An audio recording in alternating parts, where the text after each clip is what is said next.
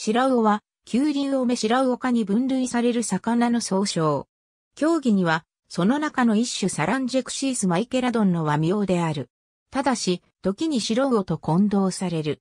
東アジアの汽水域周辺に生息する半透明の細長い小魚で食用にもなる。別名は、白尾、シラス、トノサマウオ、白魚、白尾など。トノサマウオという別名は、野良仕事をしない領主の綺麗な手を白魚になぞらえたものという説がある。また、細長く、半透明の優美な姿から、女性の細くて、白い指を白魚のような指と例えることがある。なお、白魚は銀魚、ナマス残魚という漢字を用いる場合もある。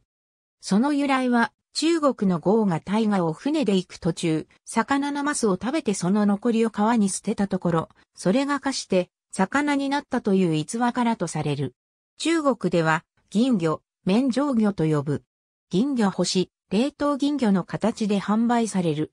太古の銀魚は、白魚、白エビと共に太古三白として有名である。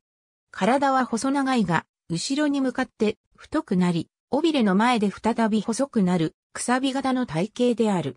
死ぬと白く濁った体色になるが、生きている時は半透明の白色で、背骨や内臓などが透けて見える。覆面に2列に並ぶ黒色の点があり、比較的目は小さく口は大きい。白い音は生体や姿がよく似ていて、料理法もほぼ同じで混同されやすいが、白魚は鈴木目ハゼ科で分類上は全く別の魚である。区別点はなどがある。白魚は他のハゼ類と違い、ほとんど死魚のような形で成熟するが、白魚は死魚の形から変態し、他の鮭類と同じようにヒレができる。このことから白魚はプロジェネシス、白魚はネオテニーと言えるかもしれない。従来の説では、白魚は春に川の川口域や汽水湖、沿岸域など汽水域の砂底で産卵し、孵化した稚魚は翌年の春まで沿岸域でプランクトンを捕食しながら成長する。そして、冬を越した生態は産卵のために、再び寄水域へ集まって産卵するが、産卵した後はオスメスとも1年間の短い一生を終えると考えられていた。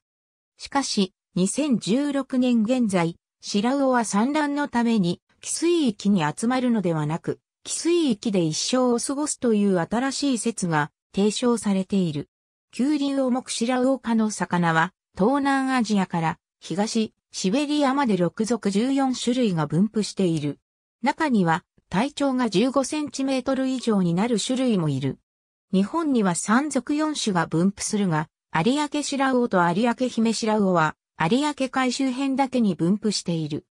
この2種類は分布が極めて局地的な上に絶滅寸前というところまで個体数が減っているため、どちらも絶滅危惧 IA 類に指定されている。古来より沿岸域へ産卵に集まる頃の制魚が食用に漁獲され、早春の味覚として知られる。かつては全国で漁獲された。2016年現在、北海道、青森県、秋田県、茨城県、島根県などが主な産地となっており、比較的東日本に多い。漁は白魚と同じように四角形の網を十字に組んだ竹で吊るした四つ手網がよく使われるが、霞ヶ浦などの大きな産地では、白魚用の刺し網や定置網などもある。白魚の佃煮白魚の軍艦艦日本のみならず、中国や東南アジアでも食用にされる。日本では高級食材として扱われている。白魚は非常に繊細で量で網から上げて空気に触れると、ほとんどがすぐに死んでしまうため、生きたまま市場に出回ることはほとんどない。料理方法としては、煮干し、佃煮、酢の物、吸い物、卵とじ、天ぷら、炊き込みご飯などが挙げられる。また、刺身、寿司などとして生で食べることもある。江戸前寿司のネタとしては、小肌や穴子と並んで、最古産に挙げられる。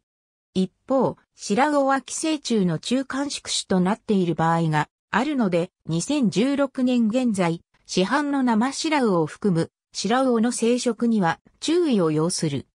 少数の規制では重篤な症状は出ないが、多数の規制によって難便、下痢、腹痛などの消化器障害が起こる可能性がある。ありがとうございます。